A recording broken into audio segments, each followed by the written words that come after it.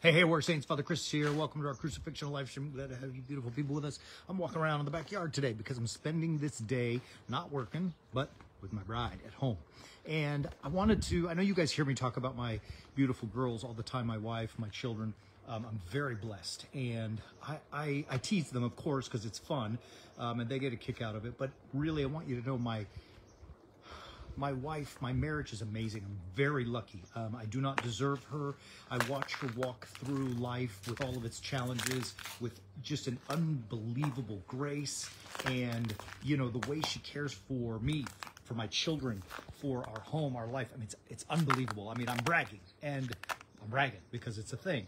And so I was thinking about her this weekend. We traveled, you know, for a quick uh, trip to our family in California. And I was watching her and I was like, holy cow this is an amazing person. And it made me think that in this tumultuous world in which we live, you know, uh, marriage is really under assault. It's, and, and here's what I mean by that. I mean, many people are married, but it doesn't carry the same traditional values that it used to. Um, it, it's one of those things that you don't have to be married, right? Like, in other words, people have relationships without the sanctity of marriage. Um, lots and lots of divorce. Unfortunately, people um, abandon, you know, relationships. I know that there are people, you know, men who just leave, and it happens with women too, who just leave.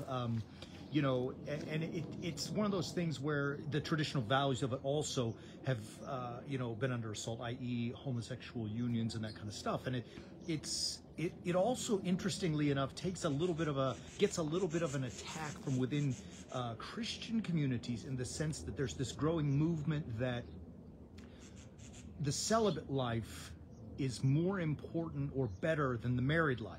And while being celibate and living a monastic life is certainly beautiful, I, I, take exception to all of these assaults against the concept of marriage because I live within a, again, I'm bragging, forgive, but within the context of a beautiful marriage. I mean, it's awesome. I love it. It's not perfect because I'm not perfect, and nor is she perfect, but nevertheless, it's amazing.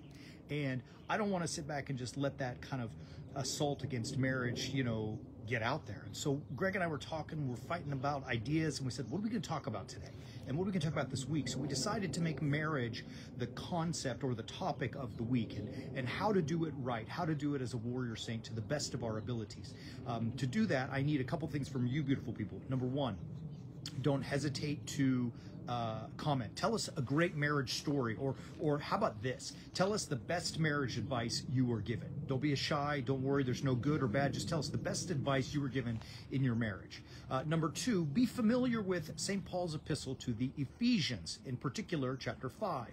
Uh, pay also attention to his First Corinthians, particularly chapter seven. We're going to use these texts throughout the week, and the idea that we've got to keep in our mind. And I'll end here today with this because I want to leave it out there for you the the proper way to do marriage is crucifixionally. You're going to see that tomorrow when we talk about St. Paul uh, in Ephesians chapter 5.